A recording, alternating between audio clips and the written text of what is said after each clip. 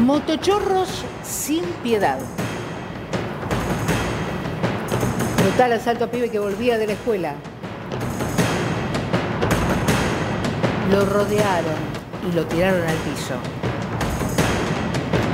Todo para llevarse el celular.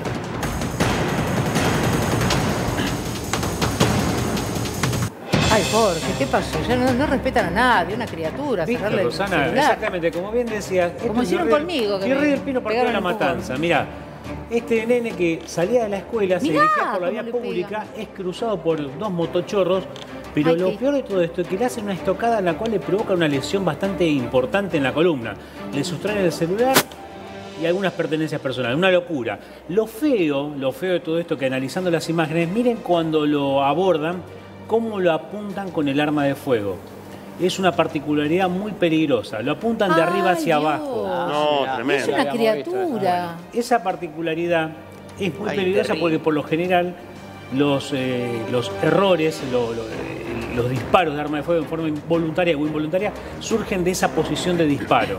¿Me entienden lo que le quiero decir? Sí. Por eso me da un poco de temor que sucedan estas cosas más aún con un chico, porque acá por suerte no se lamenta la pérdida humana por, eh, por este hecho, pero en varios hechos de similares características, por lo general el delincuente dispara, propiamente por la posición con la cual aborda a Ay, la pero víctima. fíjate con qué, con Cómo qué tira, virulencia, ¿no? la- Sí, sí, cómo sí. la azota contra el piso, Claro, con le qué una estocada, eso se, se denomina una estocada, y lo, le provoca una lesión, más que seguro en la columna, porque vos mirás cómo cae al piso de una forma muy abrupta.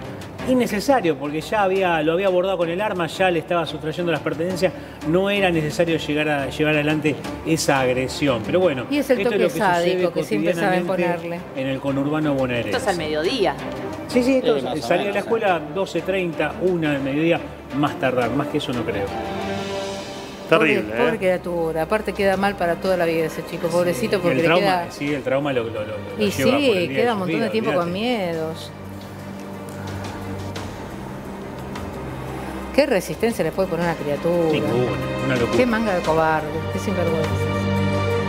El teléfono celular. Fíjate que siempre el teléfono celular, claro, porque es lo más fácil de robar y porque es chiquitito, ¿no? Y Siempre- porque hay gente que compra teléfonos Totalmente. robados, Hay gente que compra. que son tan cómplices como los delincuentes. Hay que paliar